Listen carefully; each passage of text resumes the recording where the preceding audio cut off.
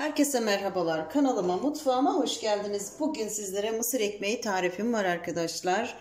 Kanalımda pek, pek çok e, kara lahana yemekleri var. Ve bir de mısır ekmeği yapmam gerekiyor. Hemen bir ekmek yapıyorum bugün sizlere. Su bardağıyla ölçü vereceğim.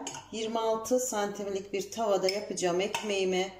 Ve şöyle 2 bir bardak mısır unumu ilave ettim.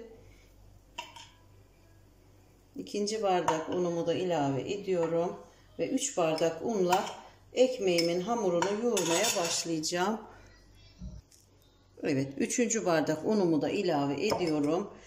200 milimlik her evde bulunan klasik bardaklar ve tuzumu ilave ediyorum. Şöyle bir tatlı kaşığı tuz yeterli gelir. Yumurta, kabartma tozu hiç öyle bir şey yok arkadaşlar. Ilık suyla yoğuruyoruz. Mısır ekmeği bu şekilde yapılır. Bir Karadenizli olarak bugün sizlere mısır ekmeği tarifini vermek istedim. Çok katı bir hamur olmasın. Suyu yavaş yavaş kontrollü ekleyin. Suyunuzun sıcak olması önemli.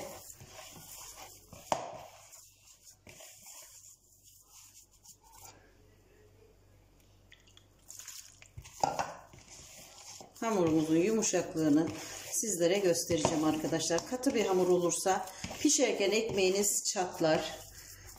Katı olmasın. Tabii ki cıvık da olmayacak. Bakın. Yumuşak bir kıvam olsun. Şöyle 1-2 dakika yoğuruyorum. Evet hamurum hazır. Bakın yumuşak bir hamur.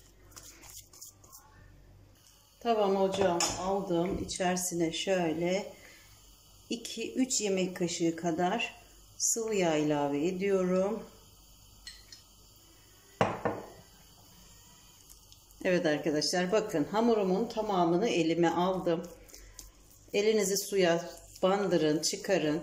Hamurunuzu şu şekilde yuvarlayarak tavamızın ortasına bırakalım. Sonrasında şöyle yavaş yavaş yayalım. Tekrar elinizi suya bandırın arkadaşlar. Bu şekilde daha güzel olacaktır. Çatlamasını engelleyeceksiniz. Tekrar elimi suya bandırıyorum. Şöyle kenarlarını düzelterek tavama güzelce ekmeğimi yerleştirdim. Orta ateşte ekmeğimi pişmeye bırakıyorum. Tavamızı sabit bırakmayalım arkadaşlar. Şöyle kendi etrafında çevirelim. Her köşesini pişmesini sağlayalım.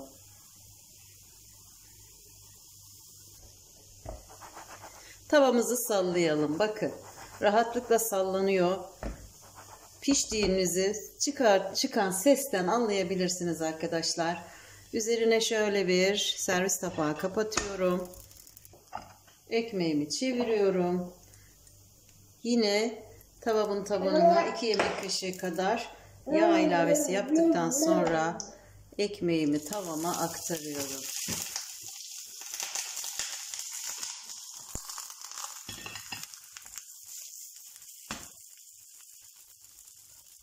Bu un fırınlanmış un arkadaşlar. Bu unla fırınlanmış unla ekmek daha lezzetli olur. Üzerine hafiften bastırıyorum. Ve ekmeğimin de tekrar diğer tarafında kızarmasını sağlıyorum. Şöyle kenarlarını toparlıyorum.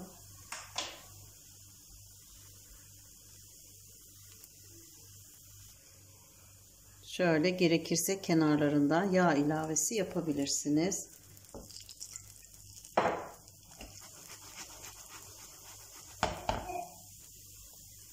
Ekmeğimizi kontrol edelim. Evet. Diğer tarafı da pişti. Şöyle hemen servis tabağımı çevirip kapatıp çeviriyorum. Evet arkadaşlar diğer tarafını da sizlere göstermek istiyorum. Bakın mis gibi oldu. Mısır ekmeğimiz pişti arkadaşlar. Servise hazır. Mis gibi orijinal mısır ekmeği. Denemenizi tavsiye ederim. Kanalıma göz atarsanız Ayşe ile Her Şey YouTube kanalımda birçok karalahana yemekleri var. Yanında mısır ekmeği çok harika oluyor. Yoğurt doğrayın arkadaşlar. Gerçekten harika oluyor ama soğuk doğrayın. Sıcakken yoğurtu ekşitir. Deneyecek olan herkese şimdiden afiyet olsun. Hoşçakalın, takipte kalın. Allah'a emanet olun.